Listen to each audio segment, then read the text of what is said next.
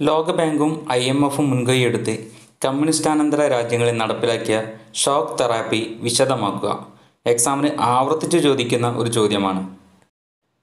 Shock therapy അഥവാ ആഘാത ചികിത്സയ്ക്ക് പ്രധാനമായിട്ടുള്ള കാരണം എന്ന് പറഞ്ഞാൽ കമ്മ്യൂണിസത്തിന്റെ തകർച്ചയെ തുടർന്ന് മിക്ക രാജ്യങ്ങളും ജനാധിപത്യ സോഷ്യലിസ്റ്റ് സമ്പ്രദായത്തിൽ നിന്നും ജനാധിപത്യ മുതലാളിത്ത സമ്പ്രദായത്തിലേക്കുള്ള ഒരു പരിവർത്തന പ്രക്രിയയുടെ കടന്നു പോവുകയുണ്ടായി ലോകബാങ്കിന്റെയും ഐ എം എഫിന്റെയും സ്വാധീനത്തിൽ റഷ്യ മധ്യകിഴക്കൻ യൂറോപ്പ് എന്നിവിടങ്ങളിൽ നടന്ന ഈ പരിവർത്തന മാതൃകയാണ് ആഘാത ചികിത്സ എന്നറിയപ്പെടുന്നത്. ഈ രാജ്യങ്ങൾ മുതലാളിത്ത സമ്പദ് വ്യവസ്ഥയിലേക്ക് പൂർണമായും മാറിയിരുന്നു. സ്വകാര്യവൽക്കരണവും കോർപ്പറേറ്റ് ഉടമസ്ഥത രീതികളും വേഗത്തിൽ തന്നെ നടപ്പിലാക്കേണ്ടി വന്നു. കൂട്ടുകൃഷിയിടങ്ങൾ സ്വകാര്യ കൃഷിയിടങ്ങളായി മാറ്റപ്പെടുകയും കാർഷിക മേഖലയിൽ മുതലാളിത്തം വരികയും ചെയ്തു. വികസനം എന്നത് കൂടുതൽ വ്യാപാരം എന്ന് വ്യാഖ്യാനിക്കുകയും സ്വതന്ത്ര വ്യാപാരം അനിവാര്യമാണെന്ന് കരുതുകയും ചെയ്തു. സ്വതന്ത്ര വ്യാപാര മേഖലയും നേരിട്ടുള്ള വിദേശ നിക്ഷേപവും നടപ്പിലാക്കി. ഈ രാജ്യങ്ങൾ പാശ്ചാത്യ മാതൃക പിന്തുടരുകയും പടിഞ്ഞാറൻ രാഷ്ട്രങ്ങൾ ഈ രാഷ്ട്രങ്ങളെ നിയന്ത്രിച്ചു തുടങ്ങി. കമ്മ്യൂണിസത്തിന്റെ തകർച്ചയാണ് ഇതിന് പ്രധാനമായിട്ടുള്ള കാരണം. കമ്മ്യൂണിസം എന്ന് പറഞ്ഞു കഴിഞ്ഞാൽ ജനങ്ങൾക്കല്ലെങ്കിൽ തൊഴിലാളികൾക്കായിരുന്നു കൂടുതലായിട്ട് പ്രാധാന്യം കൊടുക്കുന്നത്. എന്നാൽ കമ്മ്യൂണിസത്തിന്റെ തകർച്ച എന്ന് പറഞ്ഞാൽ പല രാജ്യങ്ങളും എന്താണ് മുതലാളിത്തം എന്നുള്ള രീതിയിലേക്ക് ചിന്തിക്കാൻ തുടങ്ങി. കാരണം മുതലാളിത്തത്തോടു കൂടിയാണ് കൂടുതൽ ലാഭം ഉണ്ടാവുള്ളൂ കൂടുതൽ വരുമാനം ഉണ്ടാവുള്ളൂ സ്വകാര്യ മേഖലയ്ക്ക് കൂടുതൽ പ്രാധാന്യം കൊടുക്കാനൊക്കെ തുടങ്ങി. എങ്കിൽ മാത്രമേ വളർച്ചയും വികസനം ഉണ്ടാവുമെന്നൊക്കെ ജനങ്ങളും വലിയ രാജ്യങ്ങളും വിശ്വസിച്ചു തുടങ്ങി. എന്നാൽ രാജ്യങ്ങൾ പാശ്ചാത്യ മാതൃക പിന്തുടരുന്നതോടുകൂടി പടിഞ്ഞാറ് രാജ്യങ്ങൾ അല്ലെങ്കിൽ പാശ്ചാത്യ രാജ്യങ്ങൾ ഈ രാജ്യങ്ങളെ നിയന്ത്രിക്കാൻ തുടങ്ങി. ഇനി ചിലപ്പോൾ ആഘാത ചികിത്സയുടെ പരിണിത ഫലങ്ങൾ എന്തെല്ലാമായിരുന്നു എന്ന് എക്സാമിന് ചിലപ്പം ചോദിക്കാൻ സാധ്യതയുണ്ട്. പ്രധാനമായിട്ടും ഒരു ആറ് ഏഴ് പോയിന്റ് നിങ്ങൾ എഴുതേണ്ടതായിട്ട് വരും എന്തെങ്കിലും ചോദിച്ചു കഴിഞ്ഞാൽ റഷ്യയിലെ തൊണ്ണൂറ് ശതമാനം വ്യവസായങ്ങളും സ്വകാര്യ വ്യക്തികൾക്കോ കമ്പനികൾക്കോ വിൽക്കേണ്ടി വന്നു.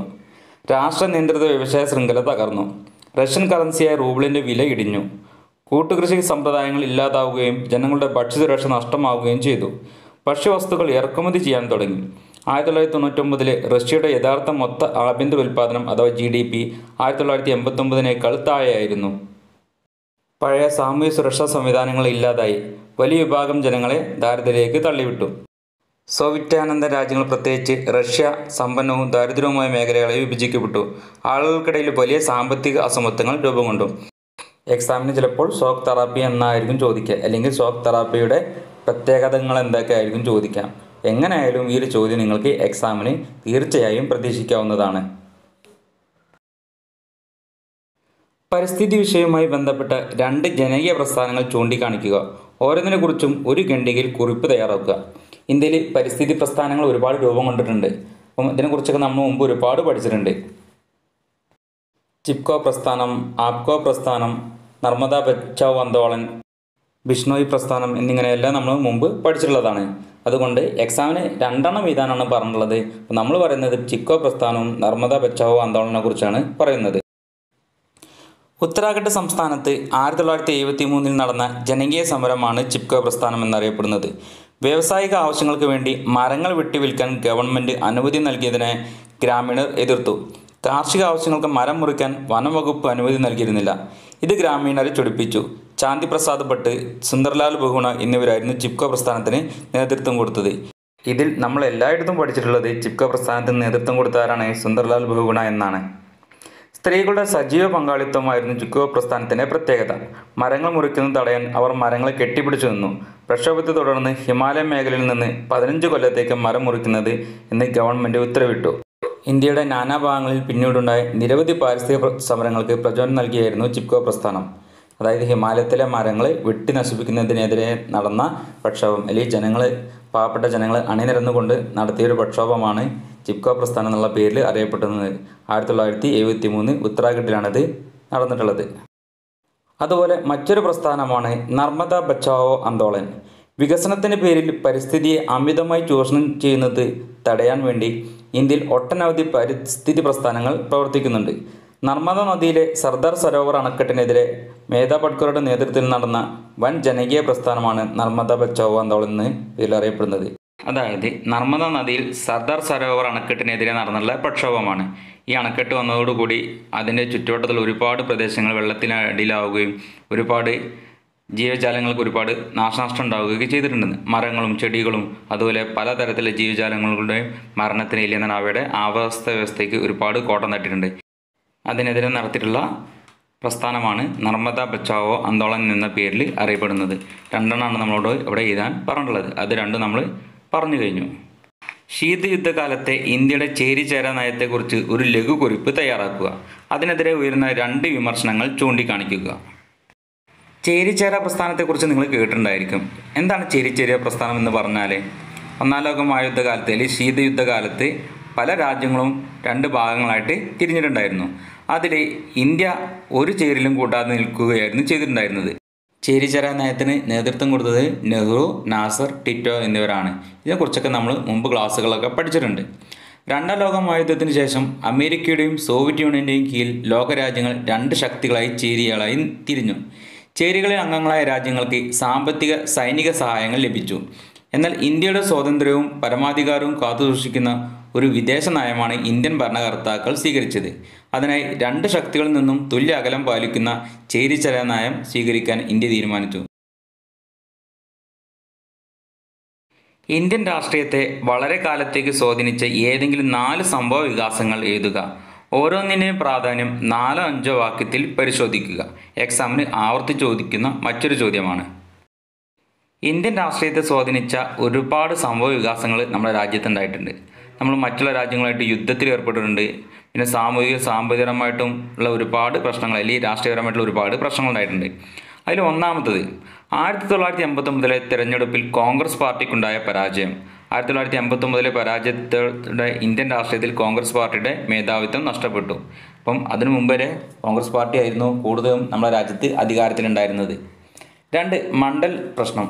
ആയിരത്തി തൊള്ളായിരത്തി തൊണ്ണൂറ് കേന്ദ്ര സർക്കാർ ജോലികളും മറ്റ് പിന്നോക്ക വിഭാഗങ്ങൾക്ക് ഇരുപത്തേഴ് ശതമാനം സംവരണം നടപ്പിലാക്കണമെന്ന മണ്ഡൽ കമ്മീഷന്റെ റിപ്പോർട്ട് നടപ്പിലാക്കാൻ ദേശീയ മുന്നണി ഗവൺമെന്റ് ആയിരത്തി തൊള്ളായിരത്തി തൊണ്ണൂറിൽ തീരുമാനിച്ചു. ഇതേ തുടർന്ന് രാജ്യത്തിന്റെ പല ഭാഗങ്ങളും അക്രമങ്ങളും ഉണ്ടായി മൂന്ന് പുത്തൻ സാമ്പത്തിക നയത്തിന്റെ ആരംഭം. ആയിരത്തി തൊള്ളായിരത്തി തൊണ്ണൂറ്റൊന്ന് ഇന്ത്യൻ സാമ്പത്തിക വ്യവസ്ഥയുടെ ഗതി മാറ്റാൻ രാജീവ് ഗാന്ധി ഗവൺമെന്റ് തുടങ്ങി വെച്ച പുത്തൻ സാമ്പത്തിക നയങ്ങൾ പി വി നരസിംഹറാവു ഗവൺമെന്റ് നടപ്പിലാക്കി തുടങ്ങി. നാല് രാജീവ് ഗാന്ധി വധം. ആയിരത്തി തൊള്ളായിരത്തി തൊണ്ണൂറ്റൊന്നിലെ തെരഞ്ഞെടുപ്പ് പ്രചാരണ വേളയിൽ തമിഴ്നാട്ടിൽ വെച്ച് പ്രധാനമന്ത്രി രാജീവ് ഗാന്ധി കൊല്ലപ്പെട്ടു. തുടർന്ന് നടന്ന പൊതു തെരഞ്ഞെടുപ്പിൽ കോൺഗ്രസ് വീണ്ടും ഒറ്റകക്ഷിയായി. അഞ്ച് ബാബറി മസ്ജിദ് തകർക്കപ്പെട്ടു. അയോധ്യയിലെ വിവാദ മന്ദിരമായ ബാബറി മസ്ജിദ് ആയിരത്തി തൊള്ളായിരത്തി തൊണ്ണൂറ്റി രണ്ടിൽ തകർക്കപ്പെട്ടത് ഇന്ത്യൻ ദേശീയതയും മതേതരത്വവും ചോദ്യം ചെയ്യപ്പെടുന്നതിന് ഇടയാക്കി. അപ്പം ഇതൊക്കെയാണ് ഇന്ത്യൻ രാഷ്ട്രീയത്തെ സ്വാധീനിച്ച പ്രധാനമായിട്ടുള്ള സംഭവ വികാസങ്ങൾ ഇവിടെ നമ്മൾ അഞ്ചെണ്ണം പറഞ്ഞിട്ടുണ്ട്. അഞ്ച് നിങ്ങൾ നല്ല രീതിയിൽ പഠിച്ചു പോയി കഴിഞ്ഞാൽ മാത്രമേ നല്ല രീതിയിൽ വിശദീകരിക്കാൻ വേണ്ടി സാധിക്കുള്ളൂ. അഞ്ച് മാർക്കിന് ചോദ്യമായതുകൊണ്ട് എന്തായാലും നിങ്ങളൊരു ഒന്നര പേജ് എഴുതേണ്ടതായിട്ടുണ്ട്. അപ്പം നിങ്ങളെ ഐഡിയയും വെച്ച് കുറച്ച് കൂടുതലായിട്ട് എഴുതി ഉണ്ടാക്കാൻ വേണ്ടി ശ്രമിക്കണം. ഐക്യരാഷ്ട്രസഭയുടെ സുരക്ഷാ സമിതിയിൽ സ്ഥിരാംഗത്വം ലഭിക്കാനുള്ള ഇന്ത്യയുടെ അവകാശവാദങ്ങൾ കണ്ടെത്തുക. അപ്പം ചിലപ്പോൾ എക്സാമിന് ചോദിക്കും ഒരു നിങ്ങളൊരു ഇന്ത്യക്കാരനായതുകൊണ്ട് ഇന്ത്യ ഐക്യരാഷ്ട്രസഭയിൽ സ്ഥിരാംഗത്വം ലഭിക്കാൻ വേണ്ടി എന്തെല്ലാം കാര്യങ്ങൾ ചെയ്യണമെന്ന് ചോദിക്കും. അതൊക്കെ നമ്മൾ പഠിച്ച കാര്യങ്ങൾ തന്നെ നിങ്ങൾ എഴുതിയുണ്ടാക്കേണ്ടതാണ് ഐക്യരാഷ്ട്ര സുരക്ഷാ സമിതിയിലേക്ക് തിരഞ്ഞെടുക്കപ്പെടുന്നതിന് നിർദ്ദേശിക്കേണ്ട മാനദണ്ഡങ്ങൾ. ഒന്ന് പ്രധാനപ്പെട്ട സാമ്പത്തിക ശക്തി ആയിരിക്കണം. ലോകരാജ്യങ്ങൾ നോക്കാൻ ഇന്ത്യ കുഴപ്പമില്ല. അതൊരു സാമ്പത്തിക ശക്തിയാണ്. പ്രധാനപ്പെട്ട സൈനിക ശക്തിയായിരിക്കണം. ലോകത്ത് നല്ല സൈനിക ശക്തിയുള്ള രാജ്യമാണ് ഇന്ത്യ. യു എൻ ബഡ്ജറ്റിന് ഗണ്യമായ വീതം നൽകുന്ന രാജ്യമായിരിക്കണം. ആ ഒരു കാര്യത്തിൽ നാം മാത്രമേ നമ്മൾ പിന്നോക്കാവസ്ഥയിൽ നിൽക്കണുള്ളൂ. അതുകൊണ്ട് ആ പോയിന്റ് എഴുതേണ്ട ആവശ്യമില്ല. ജനാധിപത്യത്തിനും മനുഷ്യാവകാശത്തിനും ഊന്നൽ നൽകുന്ന രാജ്യമായിരിക്കണം. ജനസംഖ്യാപരമായി വലിയ രാജ്യമായിരിക്കണം. ഭൂമിശാസ്ത്രപരമായും സാമ്പത്തികമായും സാംസ്കാരികമായുള്ള വൈവിധ്യത്തെ പ്രതിദാനം ചെയ്യുന്ന രാജ്യമായിരിക്കണം. ഈ മൂന്നാമത്തെ പോയിന്റ് ഒഴികെ ബാക്കി എല്ലാ പോയിന്റുകളും നിങ്ങൾ എഴുതി വെച്ചാൽ മതി. അതായത് ഇന്ത്യ സുരക്ഷാ സമിതിയിൽ അല്ലെ ഐക്യരാഷ്ട്ര സഭയുടെ സുരക്ഷാ സമിതിയിൽ അംഗമാവണമെന്നുണ്ടെങ്കിൽ ഇങ്ങനെയുള്ള കാര്യങ്ങളൊക്കെ നമ്മൾ മുൻപന്തിയിൽ നിൽക്കുന്നുണ്ട്. അതുകൊണ്ട് നമുക്ക് എന്തായാലും ഇന്ത്യയെ ഇതിൽ സുരക്ഷാ സമിതിയിൽ സ്ഥിരാംഗത്വം ലഭിക്കാൻ വേണ്ടി നമുക്ക് പറയാവുന്ന കാര്യങ്ങളാണ് ഇതൊക്കെ തന്നിട്ടുള്ളത്. വടക്കു കിഴക്കൻ മേഖലയിലെ പ്രാദേശിക അഭിലാഷങ്ങളുമായി ബന്ധപ്പെട്ട വിവിധ പ്രശ്നങ്ങൾ വിവരിക്കുക. എക്സാമിന് ആവർത്തി ചോദിക്കുന്ന നാല് മാർക്കിന് അഞ്ച് മാർക്കിന്റെ ചോദ്യങ്ങളിൽ ഒന്നാണിത്. ഇന്ത്യയുടെ വടക്ക് കിഴക്കൻ സംസ്ഥാനങ്ങൾ അഥവാ സപ്ത സഹോദരിമാർ എന്നറിയപ്പെടുന്ന സംസ്ഥാനങ്ങളാണ് ആസാം അരുണാചൽ പ്രദേശ് മിസോറാം മേഘാലയ മണിപ്പൂർ നാഗാലാൻഡ് ത്രിപുര എന്നീ സംസ്ഥാനങ്ങൾ സിക്കിമും ഉൾപ്പെടുന്നതാണ് ഈ പ്രദേശം. ഇന്ത്യയുടെ മറ്റു പ്രദേശങ്ങളിൽ നിന്നും ഒറ്റപ്പെട്ട് നിൽക്കുന്നു. അപ്പോൾ നമുക്കറിയാവുന്ന കാര്യമാണ് അവിടെ ഒരുപാട് പ്രശ്നങ്ങൾ നടക്കുന്നുണ്ട്. പലപ്പോഴും ആ പ്രദേശത്തുള്ള സ്ഥലങ്ങൾ അല്ലെങ്കിൽ ഇന്ത്യയോട് കൂടിച്ചേരാൻ വേണ്ടി ആഗ്രഹിക്കണില്ല. അതുകൊണ്ട് തന്നെ അവിടെ ജനങ്ങളും അവിടുത്തെ സർക്കാരുകളും തമ്മിൽ എന്താണ് ഒരുപാട് പ്രശ്നങ്ങൾ ഉണ്ട്. മൂന്ന് തരത്തിലുള്ള പ്രശ്നങ്ങളാണ് വടക്കേക്കൻ രാഷ്ട്രീയത്തിലുള്ളത്. ഒന്ന് സ്വയം ഭരണാധികാരത്തിനുള്ള ആവശ്യങ്ങൾ. രണ്ട് വിഘടനവാദം. മൂന്ന് അന്യരോടുള്ള എതിർപ്പ്. ഒന്നാമത്തെ സ്വയം ഭരണാധികാരത്തിലുള്ള ആവശ്യങ്ങൾ. മേഖലയിൽ എട്ട് സംസ്ഥാനങ്ങൾ രൂപീകരിക്കപ്പെട്ടിട്ടും പുതിയ സംസ്ഥാനങ്ങൾക്ക് വേണ്ടിയും കൂടുതൽ അധികാരങ്ങൾക്ക് വേണ്ടിയും ഉള്ള പ്രക്ഷോഭങ്ങൾ ശക്തമാണ്. ആസാമിൽ ബോഡോസ് കാർബിസ് ദിമാസസ് തുടങ്ങിയ ഗോത്ര വിഭാഗങ്ങൾ അധിവസിക്കുന്ന പ്രദേശങ്ങളിൽ നിന്നും പ്രത്യേക സംസ്ഥാനം രൂപീകരിക്കണമെന്ന ആവശ്യം ഉയർന്നു വന്നു. പുതിയ സംസ്ഥാനങ്ങൾ അനുവദിച്ചു കൊടുക്കുക എന്നത് പ്രായോഗികമല്ലാത്തതിനാൽ ഈ വിഭാഗങ്ങൾ അധിവസിക്കുന്ന പ്രദേശങ്ങൾ ഉൾപ്പെടുത്തി കൂടുതൽ അധികാരങ്ങളോട് കൂടിയ ജില്ലാ കൗൺസിലുകൾ അനുവദിച്ചു. രണ്ട് വിഘടനവാദം. ഇന്ത്യ യൂണിയനിൽ നിന്നും സ്വാതന്ത്ര്യം ആവശ്യപ്പെട്ട് ചില സംസ്ഥാനങ്ങളിൽ വിഘടന പ്രക്ഷോഭങ്ങൾ നടക്കുന്നു. ദീർഘകാലം മിസോറാമിലും നാഗാലാൻഡിലും ആയുധം എടുത്തുള്ള വിഘടനവാദ പോരാട്ടങ്ങൾ നടന്നിട്ടുണ്ട്. മിസോറാം ആയിരത്തി തൊള്ളായിരത്തി അൻപത്തൊമ്പത് അസം ഹിൽസ് എന്ന പ്രദേശം ഉൾപ്പെടുത്തി പുതിയ രാഷ്ട്രം വേണമെന്ന് ആവശ്യം ഉന്നയിച്ച് മിസോ നാഷണൽ ഫ്രണ്ട് രൂപീകരിക്കപ്പെട്ടു. ലാൽ ഡെങ്കെ ആയിരുന്നു സ്ഥാപകൻ. ആയിരത്തി തൊള്ളായിരത്തി അറുപത്തി ആറ് മുതൽ പാകിസ്ഥാൻ പിന്തുണയോടെ ഇന്ത്യക്കെതിരെ മിസോ കലാപാരികൾ ആക്രമണം വഹിച്ചുവിട്ടു. ഇരുപത് വർഷത്തോളം മിസോ കലാപഭൂമി ആയിരുന്നു. സൈനിക ഇടപെടൽ ശക്തമായതിനെ തുടർന്ന് ലാൽ ഡെങ്കെ പാകിസ്ഥാനിൽ അഭയം തേടി. ആയിരത്തി തൊള്ളായിരത്തി എൺപത്തി ആറിൽ പ്രധാനമന്ത്രി രാജീവ് ഗാന്ധി എം എൻ എഫുമായി സമാധാന ചർച്ച നടത്തുകയും കരാർ ഒപ്പുവെക്കുകയും ചെയ്തു. ഇതിനനുസരിച്ച് മിസോറാമിന് പ്രത്യേക അധികാരങ്ങളോട് കൂടിയ പൂർണ സംസ്ഥാന പദവി അനുവദിച്ചു. വിഘടനവാദ പ്രവർത്തനങ്ങളിൽ നിന്നും എം പിന്മാറി. ഇതിനുശേഷം ഈ മേഖലയിലെ സമാധാനം നിലനിൽക്കുന്ന ഒരു പ്രദേശമായി മിസോറാം മാറി. നാഗാലാൻഡ്. ആയിരത്തി തൊള്ളായിരത്തി അൻപത്തൊന്ന് നാഗാ നാഷണൽ കൗൺസിൽ നാഗാലാൻഡിലെ സ്വാതന്ത്ര്യത്തിന് വേണ്ടി ആയുധമെടുത്ത് പോരാടാൻ തുടങ്ങി. നെഹ്റു ഗവൺമെന്റ് കലാപകാരികളുമായി പലവട്ടം സമാധാന ചർച്ചകൾ നടത്തി. ചില കരാർ ഒപ്പുവെച്ചു. എന്നാൽ അത് അംഗീകരിക്കാൻ ചില തീവ്രവാദി വിഭാഗങ്ങൾ തയ്യാറായില്ല. രണ്ടായിരത്തി പതിനഞ്ച് കേന്ദ്ര ഗവൺമെന്റ് നാഗാലാൻഡിലെ ഒരു പ്രബല തീവ്രവാദി സംഘടനയുമായി സമാധാന കരാർ ഒപ്പുവെച്ചു. മറ്റു തീവ്രവാദ സംഘടനകളുമായി ചർച്ചകൾക്കുള്ള ശ്രമങ്ങൾ നടന്നുവരുന്നു അന്യരോടുള്ള എതിർപ്പ് മൂന്നാമത് ലാസ്റ്റത്തെ.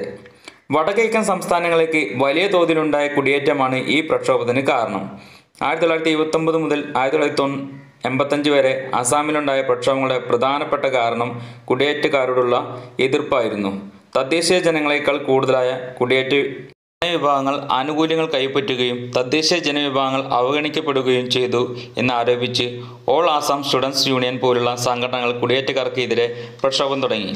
ആയിരത്തി തൊള്ളായിരത്തി അൻപത്തൊന്ന് മുതൽ ആസാമിന്റെ മണ്ണിൽ കുടിയേറിപ്പറത്ത വിദേശികളെ പുറത്താക്കണമെന്ന് അവർ ആവശ്യപ്പെട്ടു. ആയിരത്തി തൊള്ളായിരത്തി എൺപത്തഞ്ചിൽ പ്രധാനമന്ത്രി രാജീവ് ഗാന്ധി തീവ്രവാദികളുമായി ചർച്ച നടത്തി. സമാധാന കരാർ ഒപ്പിട്ടു. എന്നാൽ ഇപ്പോഴും അസാമിലും മിസോറാമിലും അരുണാചൽ പ്രദേശിലും അന്യർക്കെതിരെയുള്ള പ്രക്ഷോഭങ്ങൾ ശക്തമാണ്. എക്സാമിന് എന്തായാലും ഈ ചോദ്യം പ്രതീക്ഷിക്കാവുന്നതാണ്. സപ്ത സ്വാതിരിമാർ അഥവാ വടക്ക് കിഴക്കൻ സംസ്ഥാനങ്ങൾ നേരിടുന്ന പ്രശ്നങ്ങൾ എന്തൊക്കെയാണെന്ന് ചോദിക്കാൻ സാധ്യതയുണ്ട്.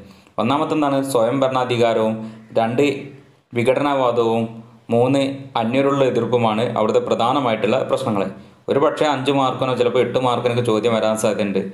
നല്ല രീതിയിൽ വിശദീകരിച്ച് മനസ്സിലാക്കി കഴിഞ്ഞതിന് ശേഷം എക്സാമിന് നല്ല രീതിയിൽ അറ്റൻഡ് ചെയ്യാൻ വേണ്ടി ശ്രമിക്കണം. അപ്പം ഇന്നത്തെ ക്ലാസ്സിൽ നമ്മൾ പറഞ്ഞുള്ളത് അഞ്ച് മാർക്കിന് ആവർത്തിച്ച് വരുന്ന ചോദ്യങ്ങളാണ്.